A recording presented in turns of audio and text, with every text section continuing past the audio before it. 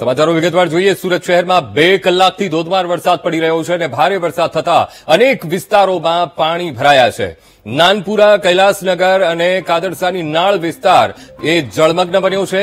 Ring road Athwa Majura સહિતના વિસ્તારો પાણીમાં ગરકાવ થયા છે. તો ઘૂંટણસમાં પાણી ભરાતા લોકોને હાલાકી વેઠવાનો વારો આવ્યો છે. તો સુરતના અમે આપને આ દ્રશ્યો બતાવી રહ્યા છીએ. નાનપુરા, કૈલાસનગર, રિંગ રોડ અઠવા મજુરા સહિતના વિસ્તારો જ્યાં આ થોડા વરસાદમાં પાણી ભરાયા છે. સુરત શહેરમાં ધોધમાર વરસાદ અને ઘૂંટણસમાં પાણી ભરાતા લોકોને હાલાકી વેઠવાનો વારો આવ્યો છે.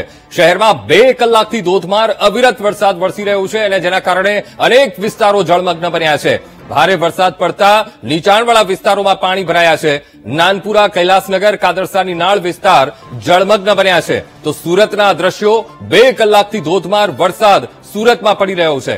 હવામાન વિભાગે આગાહી આપી જ હતી કે બે દિવસ દક્ષિણ ગુજરાતમાં ખાસ અસર રહેશે વરસાદની અને એ જ પ્રમાણે શહેરમાં બે કલાકથી ધોધમાર વરસાદ પડી રહ્યો છે.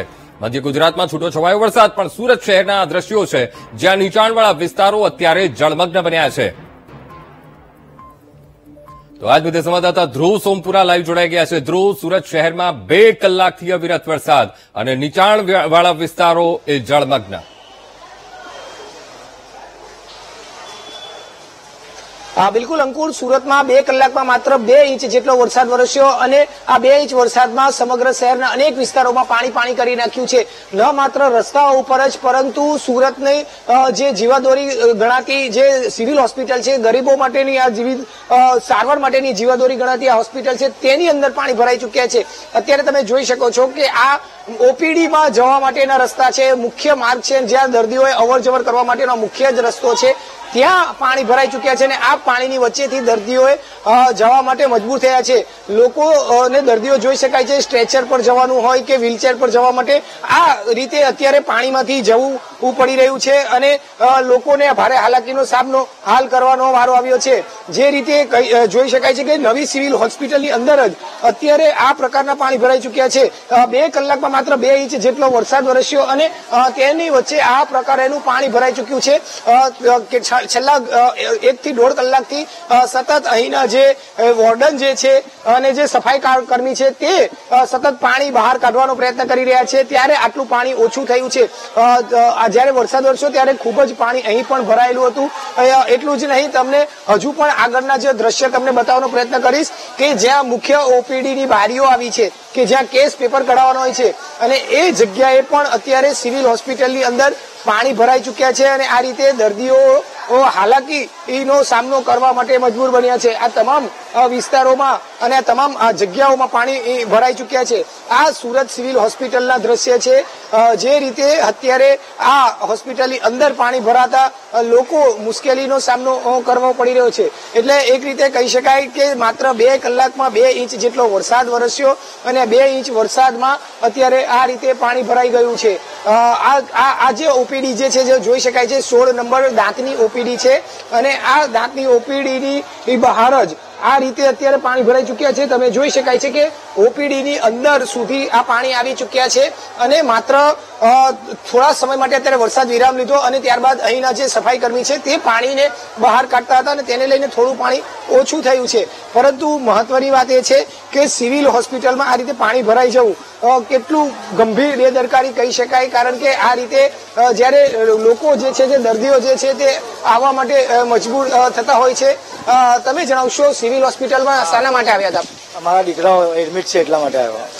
કેવું અત્યારે સ્થિતિ જોવા મળી? પાણી વધારે છે અહીંયા. કેવી તકલીફ પાણીમાંથી આવવા માટે? હવે તકલીફ તો રહેવાની જ છે ને મોટા. જોઈ શકાય છે અત્યારે જે રીતે દર્દીઓ અહીં એના પરિવારજનો, દર્દીઓ ડોક્ટર નર્સ તમામ લોકો જે છે તે આ પાણીમાંથી જવા માટે મજબૂર થાય છે.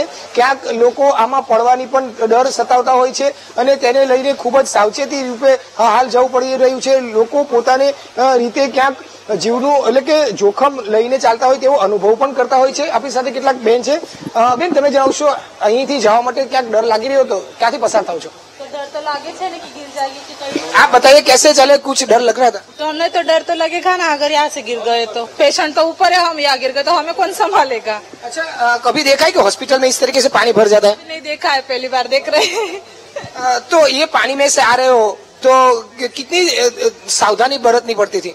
सावधानी तो बरतनी पड़ेगी ना। अभी गिर जाएँगे तो थोड़ी तो सावधानी बरतनी पड़ेगी ना। बस सावधानी बरतेगी तो अभी तो अच्छे से रहेंगे हम लोग। બિલકુલ, એટલે જે રીતે અત્યારે જોઈ શકાય છે કે નવી સિવિલ હોસ્પિટલની અંદર જ્યાં મુખ્ય ઓપીડી છે જ્યાં મુખ્ય માર્ગ છે કે જ્યાં દર્દીઓને સારવાર માટે લઈ જવામાં આવે છે, તે જ માર્ગ ઉપર આ રીતે આખા પાણી ભરાઈ ચુક્યા છે. એટલું જ નહીં આ જ નહીં, પરંતુ સિવિલ હોસ્પિટલનો જે બહારનો મુખ્ય માર્ગ છે, ત્યાં પણ પાણી ભરાઈ ચુક્યા છે.